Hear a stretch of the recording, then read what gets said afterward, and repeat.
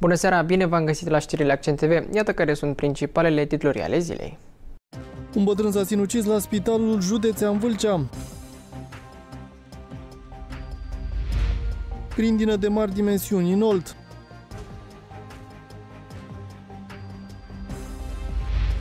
Romanescu este de acord cu renumărarea voturilor.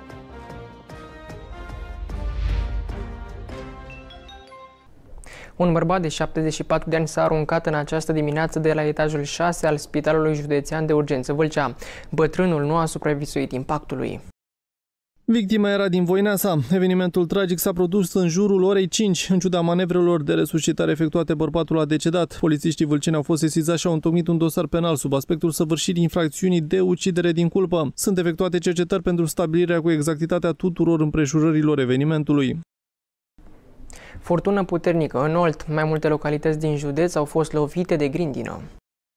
Ploaia cu grindină de mari dimensiuni a speriat pe localni și a produs pagube. Mai multe autoturisme s-au ales cu parbrizele crăpate. Administrația Națională de Meteorologie a emis luni mai multe avertizări meteorologice de cod galben și cod portocaliu de ploi, vijelii puternice și grindină, dar și temperaturi deosebit de ridicate, caniculă și disconfort termic accentuat. În intervalul menționat în cea mai mare parte a țării au fost perioade cu instabilitate atmosferică, averse, intensificări de scurtă durată ale vântului, rafale de 55-65 de km pe oră, vijelii căderi de grindină și descărcări electrice. Cantitățile de apă au fost de 15-25 de litri pe metru pătrat și izolat de peste 30-40 de litri pe metru pătrat.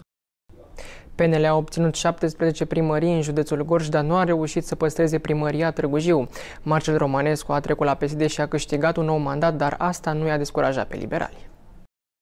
Ion Iordache și Iulian Popescu și-au recunoscut înfrângerea, dar au mulțumit electoratului pentru voturile acordate. Aproximativ 60.000 de alegători au pus ștampila pe Partidul Național Liberal în Gorj la alegerile de duminică. Numărul mare de votanți arată că foarte mulți gorjeni înțeleg că este nevoie de schimbare, a declarat Iulian Popescu. Suntem datori să nu abandonăm proiectul nostru, ci să mergem mai departe, a spus Iordache, care a vorbit și despre noua echipă de la PNL. O echipă extraordinară, care este în formare și în creștere, pentru determinarea și participarea la toate aceste activități și uh, suntem datori celor care ne-au susținut, celor care ne-au votat, să nu abandonăm proiectul nostru și să mergem mai departe. Numărul mare de oameni în echipă, de susținători și mai ales de votanți al uh, echipei liberale în toate localitățile județului arată clar că foarte mulți uh, gorjeni, foarte mulți târgujieni înțeleg că e nevoie de o schimbare, înțeleg că e nevoie de deschidere, înțeleg că e nevoie de a ne conecta cu celelalte comunități și nu să rămânem aici izolați. PSD a obținut 50 de primării în județul Gorj.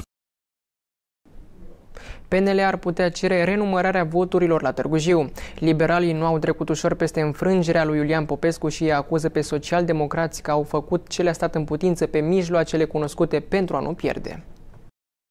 Afirmația fostului prefect Iulian Popescu nu-l sperie pe câștigător. Marcel Romanescu a declarat că liberalii nu știu să piardă și nu au încredere în proprii membrii de partid. Ar trebui să aibă bunul simț să iese cu o declarație așa cum se procedează. Dacă ai coloana vertebrală și ești un om Uh, un om cu simțul măsurii și să declară am pierdut alegerile, Romanescu a fost mai bun, Romanescu cu echipa lui sau Partidul Social Democrat a fost mai bun.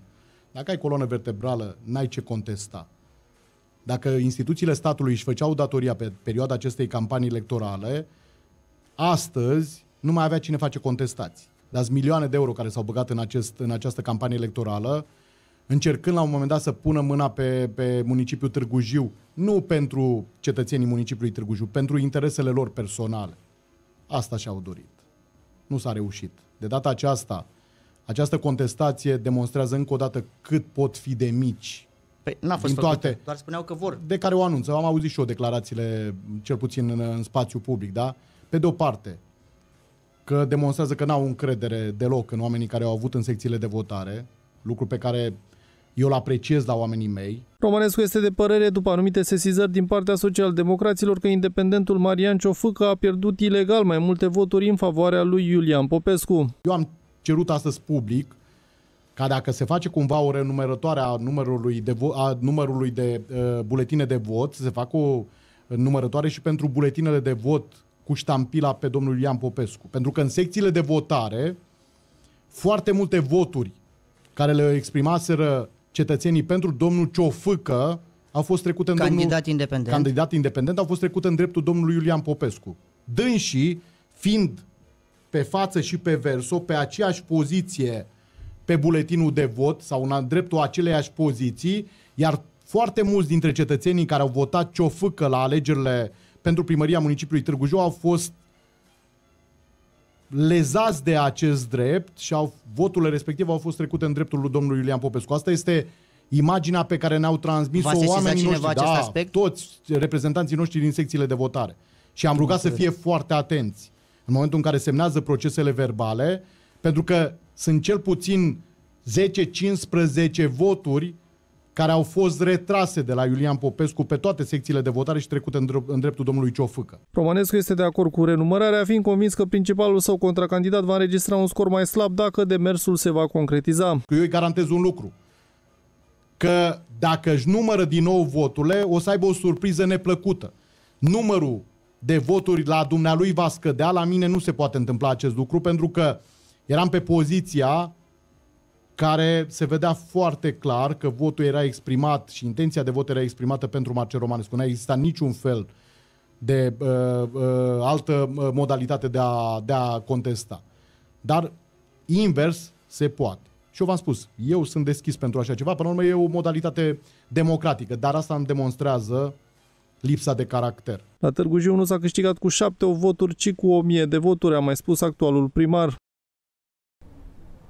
Inspectorii de muncă din cadrul ITM Gorj au efectuat în perioada 27 mai-7 iunie 2024 un număr de 90 de controle care au vizat atât domeniul relațiilor de muncă, cât și domeniul securității și sănătății în muncă. În acest sens au fost aplicate 42 de sancțiuni contravenționale în valoare de 268.500 de lei. Pentru neconformitățile constatate în urma controlelor, inspectorii de muncă au dispus 169 de măsuri obligatorii în vederea intrării în legalitate. Pentru neconformitățile constatate în urma controlelor, inspectorii de muncă au dispus 169 măsuri obligatorii în vederea intrării în legalitate. Un angajator cu sidul social în orașul Rovinari, având domeniul de activitate fabricarea de uși și ferestre din metal a fost sancționat cu suma de 40.000 de lei pentru folosirea în activitatea două persoane fără încheierea în prealabil a unui contract individual de muncă. ITM Gorj a desfășurat în perioada 29 mai-1 iunie 2024 campania națională de control pentru verificarea modului în care sunt respectate prevederile legale privind încheierea și executarea contractelor individuale de muncă de către angajatorii care își desfășoară activitatea în domeniul activități de jocuri de pariuri și noroc.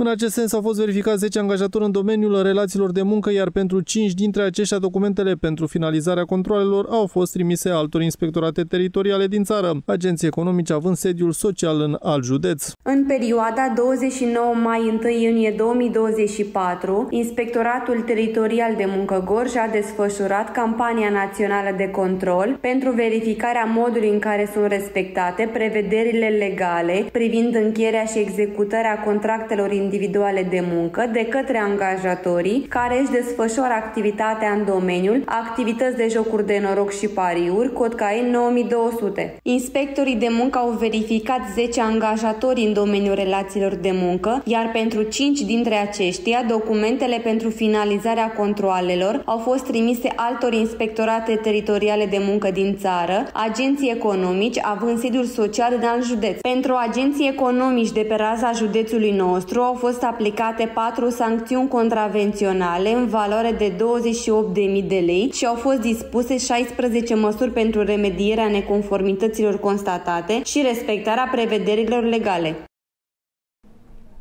Gara din Târgu Jiu va fi modernizată. Clădirea a fost construită în perioada comunismului și nu a beneficiat niciodată de lucrări importante de reabilitare. În acest sens, Ministerul Transporturilor a întocmit indicatorii tehnico-economici pentru modernizarea celei mai importante stații de călători din Târgu Jiu. Investiția este de peste 100 de milioane de lei. Astfel se va realiza o recompartimentare a spațiilor interioare în vederea fluidizării unor zone funcționale și pentru introducerea grupurilor sanitare pentru călători. În zona caselor de bilete se vor elimina pereții separatori. Cele două spații de la parter adiacente scărilor vor fi refuncționalizate. Tunelul va fi desfințat, iar intrarea în acesta va fi sigilată cu o placă de beton beton. La etaj vor fi spații comerciale, vânzare cu amănuntul de tip mall și zonă de alimentație publică. Se vor realiza două peroane, dintre care unul intermediar se va desfința linia 3 și se va reconfigura capătul X al stației cu desfințarea parțială a unei linii din grupa tehnică. Clădirea a fost dată în folosință în anul 1989. Încă se lucrează la centura ocolitoare a municipiului Târgu Jiu, dar drumarii vin cu vești bune. Direcția Regională de Drumuri și Poduri Craiova anunță că stadiul lucrărilor este efectuat în proporții de 93%.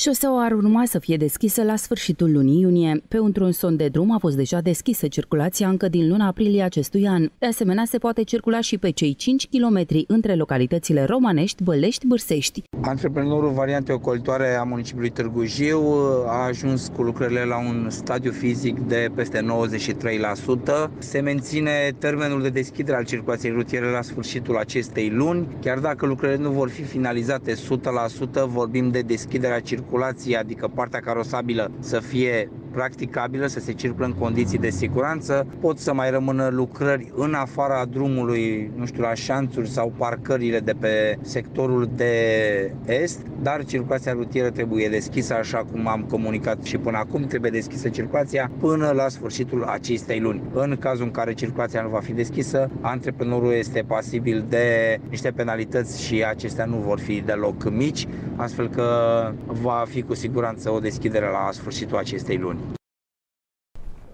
Sindicatele din minerit organizează noi întâlniri cu pensionarii din domeniu. Discuțiile vor avea ca obiect problemele generate de aplicarea legilor 197 și 74 pentru pensionarea salariaților din minerit și din termocentrale.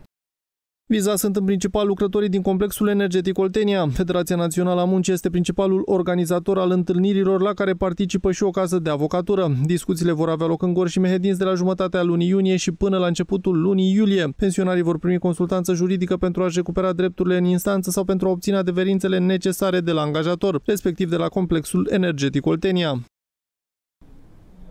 CEO a alocat fonduri pentru bunul mers al carierelor miniere, sucursalelor electrocentrale și din zona administrativă.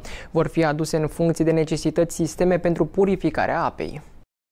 Acestea vor fi montate la rezervoarele de apă caldă și apă rece. Potrivit reprezentanților complexului energetic Oltenia, sistemele pentru purificarea apei potabile vor avea o capacitate de 60 de litri pe oră. Astfel va fi asigurată apa potabilă 24 de ore din 24 și mai ales în perioadele caniculare. Sistemele vor fi asigurate în toate subunitățile miniere la sucursalele electrocentrale, iar personalul care va lucra în aer liber va beneficia și de apă îmbuteliată și de alte măsuri de protecție când temperaturile vor fi caniculare.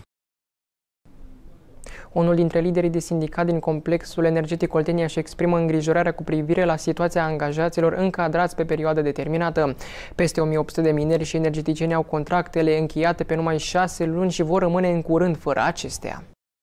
Contractele individuale de muncă vor expira pe 1 iulie. Până la această dată, administrația trebuie să decidă ce va face cu salariații respectiv. Există mai multe variante. Varianta încetării contractelor nu este însă luată în calcul de nimeni. Ultima prelungire de contracte a fost pe numai 6 luni. Știrile au ajuns la final. Vă mulțumesc pentru atenție. O seară plăcută în continuare.